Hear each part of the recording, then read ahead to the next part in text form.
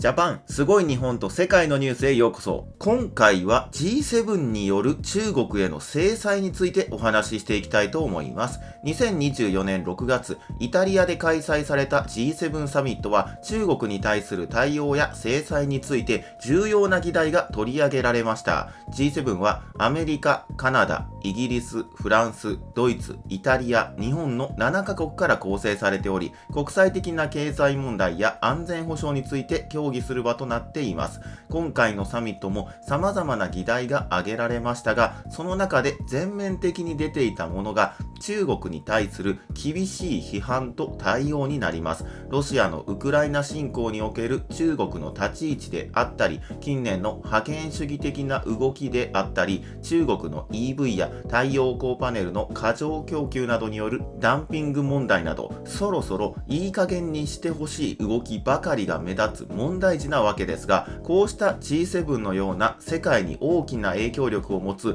国際的な場においての各国の対応や声明などは中国としてもかなり警戒心を持って注視しているわけですね。そして実際に今回の G7 サミットでは中国への制裁も含めてめちゃくちゃ強い対応に出ることとなったんです。強気の姿勢すぎて正直びっくりするレベルでしたね。果たして G7 サミットでどのようなことが話し合われ取り決められたのか見ていきたいと思います。このチャンネルでは日本を応援する立場から日本や世界の興味深いニュースを中心に様々な情報をお届けしています。こちらは当チャンネルから発信した動画の代表的なものになります。こうした情報に少しでも興味のある方や日本が大好きな方は忘れないうちにチャンネル登録お願いします。では行きましょう。今回の G7 サミットではとにかくこれまで以上に強い警告を中国に向けて発信していました。首脳声明にはロシアのウクライナ侵攻について中国が事実上共犯者であると認定するような文言が盛り込まれ中国企業などへの追加制裁を検討することも示唆されたんです。特に13日に象徴的な場面がありました。サミットに招かれたウクライナのゼレンスキー大統領が中国の習近平国家主席との電話協議で習近平国家主席から直接ロシアに武器を売ることはないとの発言を聞いたと明らかにしたわけなんですがこの発言に対し傍らにいたバイデン大統領はすぐに中国は武器を製造する能力と技術を提供している。実際にロシアを助けていると指摘しこの認識は G7 の首脳声明にそのまま反映される形となりました。中国はロシアに対してデュアルユースと呼ばれる軍事転用可能な民間品も多く輸出していますからね。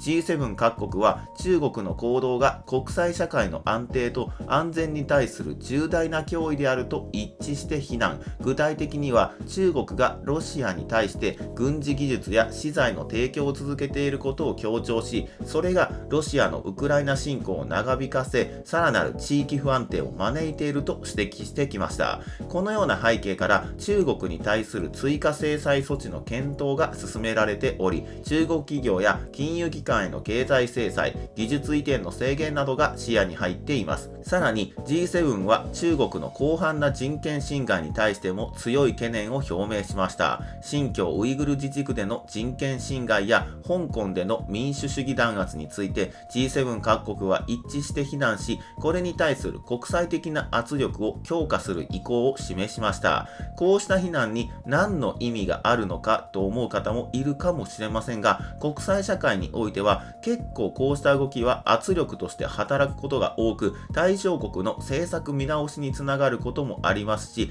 G7 の連携が強固だというメッセージを外部に発信することも国際社会では重要となります。そして、非難が国際的な制裁や経済的圧力と組み合わさることで、その効果はさらに高まるというわけですね。中国が最近、ロシアと経経済面において距離を置きつつあるのも、こうした動きの結果となります。また、モスクワに対する西側制裁を逃れるのに協力する中国の金融機関は大きなものから小規模なものまで数知れず存在しており問題視されていましたが G7 は中国を名指しした上でロシアの戦略物資の調達などに関わる外国金融機関に制裁対象を広げ金融システムからの排除といった措置を取ることも決めましたロシアとの軍事転用可能な技術部品の取引に関与すれば中国のの金融機関を G7 の金融ネットワークから締め出すというかなり強い警告も出しており、中国を含む第三国の個人、団体に対して我々の金融システムへのアクセスを制限する措置を取ると発信。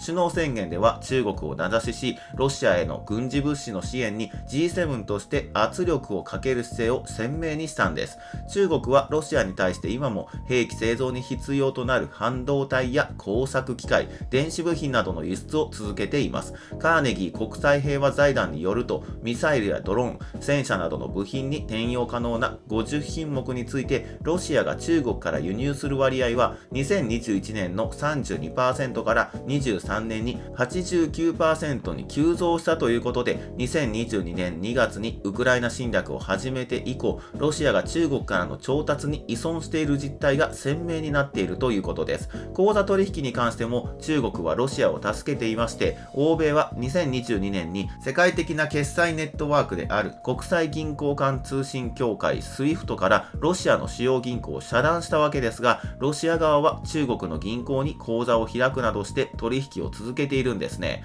アメリカ政府の高官は記者団に対してロシアの戦争を支える中国の行動はウクライナだけでなく欧米の安全保障を脅かしている。だからこそ制裁措置が重要だと述べました。そしてインド太平洋情勢については中国の南シナ海や東シナ海における海洋進出にも懸念を表明し力や威圧による一方的な現状変更の試みに強い反対を示し台湾海峡の平和と安定の維持が国際社会の安全と繁栄に不可欠なことも再確認しましたまた G7 は経済面でも中国に対する対応を強化する方針をを打ち出しました。最近ではアメリカや EU トルコなどが中国製の EV への関税を一気に引き上げたことが話題となっていましたがこうした不公正な貿易慣行や市場歪曲を防ぐため中国からの輸入品に対する関税引き上げや特定の技術分野での中国企業への規制強化が検討されています。ただ EU の動きに関してはドイツが反対の意見を今でも発信してきているので引き続き注視する必要がありそうですがそれでも G7 において必要以上に足並みを乱すわけにもいきません。G7 各国は自国の経済安全保障を確保し中国の影響力を制限しようというわけですね。さらに14日に公表された首脳声明では G7 は中国に害を与えたり経済発展を妨害しようとしているのではなく不公正な観光から我々の企業を守り公平な競争条件を整え進行中の損害を是正するための行動を継続すると発信。中国による有害な商慣行に取り組むことを確約しました。これによりグローバルな力のバランスを保とうとしています。この G7 サミットを通じて中国に対する圧力が一層強まり今後の国際関係における重要な転換点となることが予想されます。そんな中たまに見られる論調としてこういうものがあります。これからは G7 ではなく BRICS の時代である。G7 諸国の GDP は2023年時点で世界の44%ほどに過ぎない。しかし BRICS は中国やロシアに加えてグローバルサウスの名手たるインドもいる。BRICS に参加したがっている国もたくさんいて世界から孤立しているのは G7 の方だ。世界は基軸通貨のアメリカドルから脱却し BRICS が新たな基軸通貨を作り出すだろう。こうした意見になります。BRICS は現在加盟国が増えていましてブラジル、ロシア、インド、中国、南アフリカ、エジプト、エチオピア、イラン、アラブ首長国連邦の9カ国からなる組織で G7 のの対抗軸として注目されています。ただこれからは BRICS の時代で世界から孤立しているのは G7 という意見に関しては限られた情報しか拾えていない方がよく発信している印象がありますね。そもそもこれを主導しているのは中国やロシアですが民主主義国でなければ1人当たりの GDP が1万ドル台を長期にわたって超えることはないということが明らかになっているわけです。発展途上国の多くが国民1人当たりの GDP がだいたい1万ドルくらいの中所得国までは成長できるがその後成長が鈍化してしまう。いわゆる中所得国の罠と呼ばれる現象です。産油国なんかはさすがに例外ですがね。いくら中国が脱アメリカドルを進めようとしても彼らは所詮は右往の州に過ぎないわけです。中所得国の集まりが基軸通貨を作るなんてことはまあ現実的には難しい話なわけですよ。ドルは長年にわたり信頼性と安定性を築いてきたため他の通通貨がその地位を取って変わるには信頼性と流動性を確保する必要があります。さらにブリックス諸国間の経済的及び政治的な多様性も課題です。ブリックスはそれぞれ異なる経済モデルと政策を持ち統一した経済政策を策定するのが難しい状況です。例えば中国とインドは成長著しい経済を持ちますがロシアと南アフリカは資源依存型経済でありそれぞれの経済構造は異なります。これにより共通の経済政策や通貨政策を策定することが困難になります。またブリックス諸国の中には政治的な不安定さや腐敗問題が経済発展の妨げとなっている国もあります。これらの問題が解決されない限り G7 のような安定した経済ブロックとしての地位を確立することは難しいでしょう。そもそも中国とインドは国境争いをしていたり何かと仲が悪かったりしますしね。一方 G7 諸国は高い購買力と先進的な技術力を持ちグローバルな経済と技術のリーダーシップを維持しています。しかしその一方でブリックスの勢い自体は侮れないものもあります。ブリックスに加盟したがっている国はたくさんありますし今後も加盟国はどんどん増えていくでしょう。ただこうした加盟国の数だけを見て G7 が世界から孤立しているというのは大いに間違っています。社会はそんな単純なものではありません。ブリックスに参加するイコール G7 と敵対するわけではありません。例えばインドやブラジルは G7 サミットにも招待されています。ロシアはかつては G8 として参加していました。そもそも好き好んで G7 を敵に回したいと考える国などなかなか少ないわけです。多かれ少なかれ経済的なつながりもありますし国の発展にあたって G7 各国から多くの支援をもらっている国ばかりですからね。G7 と BRICS という盤面があって各国がどちらかの敵でどちらかの味方になるなんて単純な世界ではないんですね。ただ中国としては習近平国家主席が推し進める巨大経済圏構想一帯一路にとってプラスの要素となる BRICS を最大限有効活用したがっていますので非常に力を入れたいところでしょう BRICS には新開発銀行と呼ばれるインフラ計画への融資を最優先とする国際開発金融機関がありますこれと中国が主導するアジア投資銀行 AIIB の融資をうまく絡めることで一帯一路構想をより進めたいわけですね。ブリックスと一帯一路は共に多国間協力を推進するための枠組みとして機能しますし、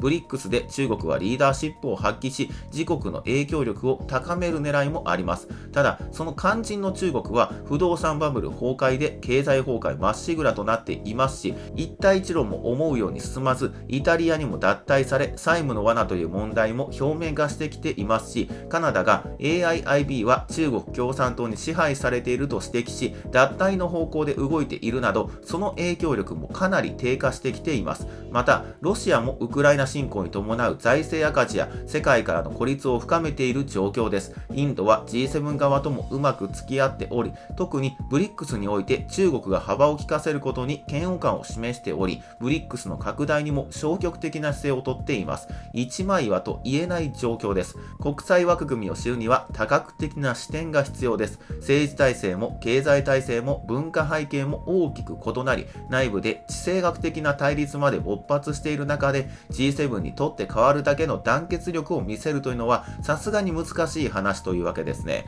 ブリックスの話がかなり長くなってしまいましたが、果たして今後国際社会が中国やロシアに対してどのような対応を取るのか、引き続き注目していきたいと思います。というわけでご視聴ありがとうございました。この動画が面白かったという方はチャンネル登録、コメント、グッドマークお願いします。また、当チャンネルはメンバーシップも開設しております。メンバー限定動画や過去の非公開動画などを公開していきますので、ご興味のある方はメンバーシップの加入をお願いいたします。また、グループチャンネル世界の経済ニュースでは、このチャンネルだけでは得られない幅広い世界の動きについて取り上げています。サブチャンネルジャパンさんのお話では、日本の観光地巡りなどしていますので、概要欄からぜひ見に来てください。ではまた次の動画もお楽しみに。バイバイ。